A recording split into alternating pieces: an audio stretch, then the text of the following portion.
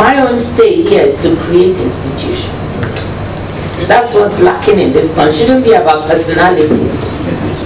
But your legacy should be to leave institutions that will make a material difference.